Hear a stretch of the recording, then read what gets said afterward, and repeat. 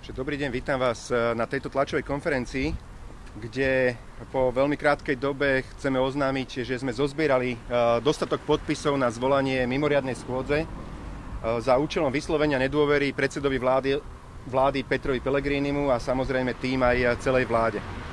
Robíme to z jedného jediného dôvodu a v dôvodovej správe sa nespomína žiadny iný dôvod, aj keď by si Peter Pellegrini určite zaslúžil, ale jeden jediný dôvod, ktorý teda počas jeho rok a pol ročného pôsobenia vyčnieva nad všetky ostatné. A to je zbabelosť, e, ako sa postavil k otázke odvolania štátnej tajomničke, tajomničky Moniky Jankovskej, štátnej tajomničky ministerstva, podotýkam, spravodlivosti.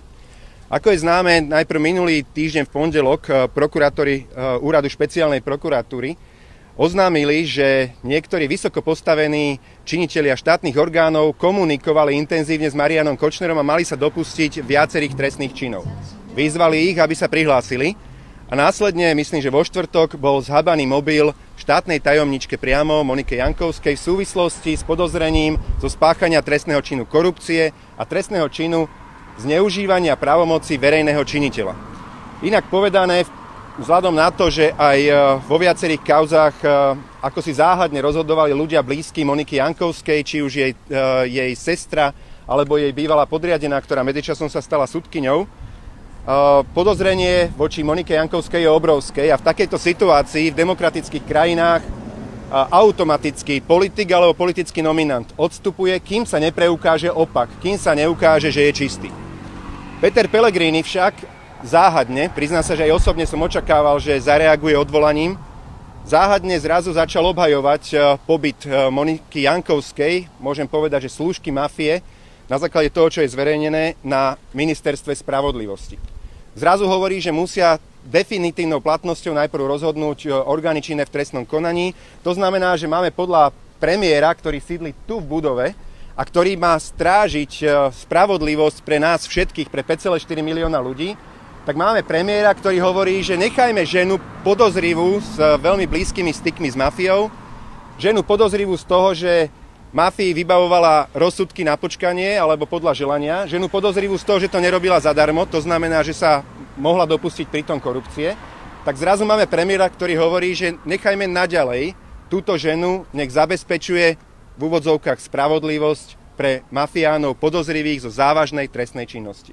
A naozaj nehovorím o nejakom človeku, čo ukradol v obchode 5,50, ale hovorím o mafiánovi Marianovi Kočnerovi, ktorý si dnes už je obvinený z vraždy Jana Kuciaka, pričom bola zabitá jeho snúbenica, kde dnes už je na spadnutie obvinenie Mariana Kočnera z toho, že si obvinil vraždu špeciálneho prokurátora Maroša Žilinku s tým, že bonus vrahovia dostanú 10 tisíc eur aj za jeho manželku, aj za každé jeho neplnoleté dieťa.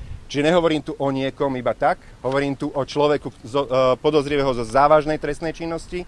Monika Jankovská s ním podľa všetkého komunikovala až do dňa e, zadržania Mariana Kočnera, ale Petrovi mu to nevadí. Ponúka sa aj trošku iná odpoveď, že prečo tomu tak je.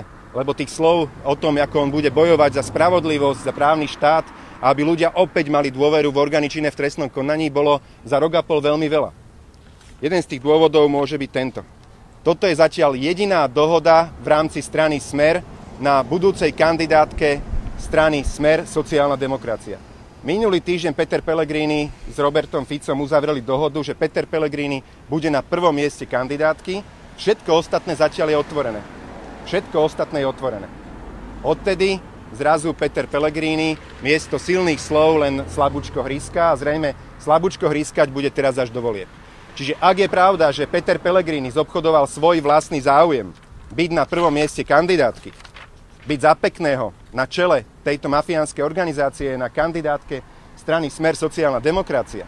A odteraz už nebude hájiť spravodlivosť, ako nám tu sluboval, ale odteraz bude robiť všetko preto, aby nadalej mafia mala priamu linku, doslova červenú linku telefonickú na ministerstvo spravodlivosti a odteraz miesto toho, aby strážila hájil spravodlivosť a záujem ľudí, Peter Pellegrini bude kvôli svojmu osobnému záujmu strážiť záujmy mafie, tak myslíme si, že takýto premiér nemá čo byť naďalej premiérom. Takýto premiér je hamba každého právneho štátu, je hamba Slovenskej republiky a preto sme radi, že sme vo veľmi krátkej dobe vyzbierali viac ako teda 30 potrebných podpisov a dnes podávame do parlamentu návrh na zvolanie mimoriadnej schôdzy za jediným účelom vyslovene nedôvery Petrovi Pelegrínimu za tento jediný skutok a zároveň tým by padla samozrejme súčasná vláda.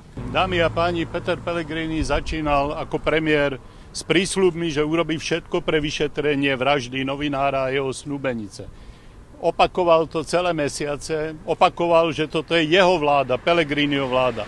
Dnes vidíme, že má vo vláde ako člena vlády e, ženu, ktorá je priamo prepojená s vyšetrovaním tejto vraždy a zostáva vo funkcii, a to vo funkcii v silovom rezorte na ministerstve spravodlivosti, z ktorej môže mať dopad na svetkov a môže mať dopad aj na orgány, ktoré celú vraždu vyšetrujú. Prípadne dozorujú na prokuratúru. E, to je absolútne v rozpore s tým, čo Pellegrini sluboval. On nie je e, premiérom. Toto je štvrtá Ficová vláda. Žiadna Pellegriniho vláda.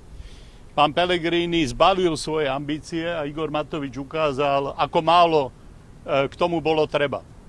Dámy a páni, vyšetrenie vraždy je stále hlavnou témou tohoto celého volebného obdobia, pretože táto vražda bola špičkou mladovca ktorá ukázala, kde končí politika, kde máme našich ľudí, kde právo neplatí pre každého a kde ruka ruku umýva. Čo iné je zotrvanie Jankovskej vo funkcii, než ochraňovanie našich ľudí a umývanie ruky rukou. Znovu apelujem na prokurátorov, sudcov, vyšetrovateľov. Nepripustite, aby ste sa nehali zastrašiť aj hrstka ľudí dokáže priniesť pravdu do spoločnosti a ľudia sa za vás postavia. My stojíme za každým čestným policajtom, sudcom, prokurátorom, ktorý chce zmeniť Slovensko na právny štát. Peter Pellegrini v, tomto, v tejto skúške neobstál, zostal splynúť, splynul s Robertom Ficom, vytvorili vlastne jednu osobu, ktorej rozhoduje žiaľ stále ten istý Robert Fico. Naše úsilie na, na mimoriadnej schôdzi bude smerovať práve k tomu, aby sme to predniesli aj na tej pôde, kde to má odznieť a aby niektorí poslanci z Mostu napríklad, alebo aj iní poslanci dostali šancu umyť si ruky, aj keď neskoro, ale predsa len si umyť ruky nad tým, že táto vláda nie je schopná poctivo vyšetrovať, že nechápe, čo to je politická zodpovednosť, Veď my nehovoríme, či pani Jankovská je kriminálnička. Hovoríme, že pri podozrení, že je prepojená na tento zločin, prichádza okamžite na miesto politická zodpovednosť. A tá hovorí, že nemôže takýto človek byť členom vlády, ktorá si predsa vzala, že to umožní to vyšetrovanie, nemôže byť e, členom alebo vysokým činiteľom ministerstva spravodlivosti, ktoré priamo dozoruje prokuratúru. Je to konflikt záujmov, je to podozrivá osoba priamo v kurníku, ktorý by mala strážiť. Jankovská musí odísť a pán Pellegrini, obávam sa, že nevyužije tých 7 dní, ktorí teraz budú plynúť do mimoriadnej schôdze a zostane iba epizódnou postavou, ktorá nebude v slovenskej politike znamenať vôbec nič, neprinesie žiadnu zmenu, neposunie Slovensko do žiadnej budúcnosti. Ak toto počúva, ešte stále mu pripomínam, že má šancu, aby tak urobil. Má slobodnú vôľu. Ak pravda nie je vydieraný, kým si, o kom sa to možno raz dozvieme.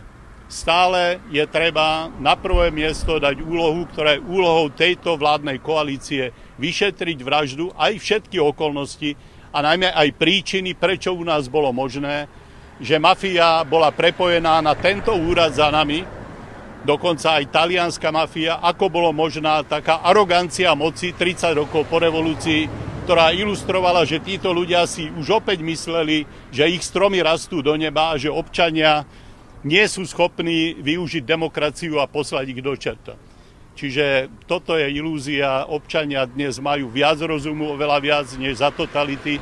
Určite ho využijú pri nastávajúcich voľbách a opozícia bude konať tak, aby nezabudli aj na to, čo sa deje v týchto dňoch, keď pani Jankovská z úškrnom ide na dovolenku a ignoruje to, že je prepojená so zločinom.